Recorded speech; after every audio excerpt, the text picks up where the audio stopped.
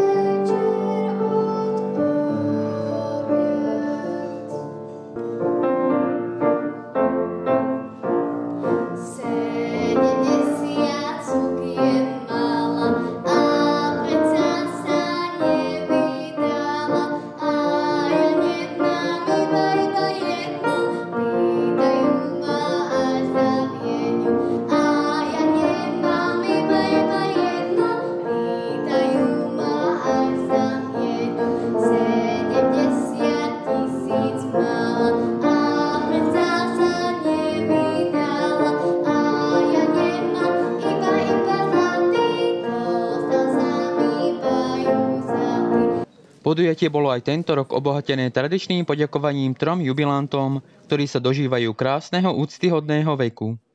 Anna Rampalová, Rozália Kadvánska a František Peťka prijali gratulácie od zástupkyne primátora a podpísali sa do meskej kroniky.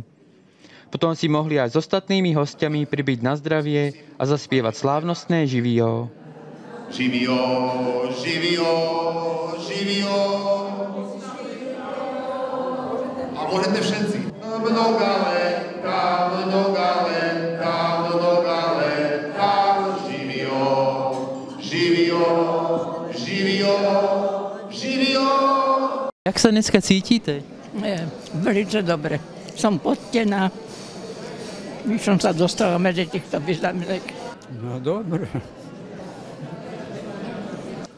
prekvapená všetkým sú, ale dobre je to, je to krásne, lebo sa ráda schádza s neznámymi ľuďmi, lebo tá pamäť už taká není a človek zapomína, obrysy sú, ale mena to už ťažko.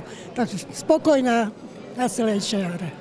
Aj keď už pribudlo zo pár vrások a organizmus už nie je taký silný ako začia z mladosti, aj keď si prežili svoje radosti aj starosti, Týchto seniorov ani v staršom veku neopúšťa úsmev a dobrá nálada. Prežili ste teda dlhý život a na čo si tak najviac rada spomínate?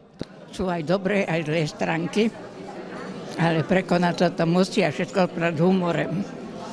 Lebo keby si myslela na nejaké nemoci stále, tak už to pochovaná som. Spomínam si, jak sme bola, kedy chodívali na zábavy, byli plese, bylo všetko možné, každé období, ktoré bylo. A bavili sme sa, keď byli slávnosti, chodili sme aj vola kedy do tých májových slávností. No ale dneska už tieho, chodiť moc nedáme, tak musíme byť doma. Vy ste si ešte zaželali do ďalších rokov. Mám sedem pravnúčat.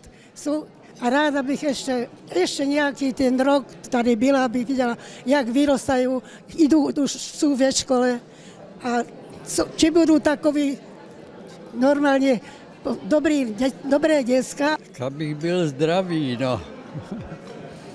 bych dobre chodil a tak dále. Ja už nič, len pokoj, pokoj, pokoj.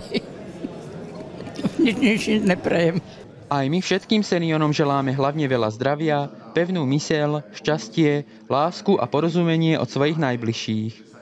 A pamätajme, že úctu a poďakovanie by sme im mali vyjadrovať neustále, lebo sú bohatou studňou múdrostí a skúseností pre našu budúcnosť.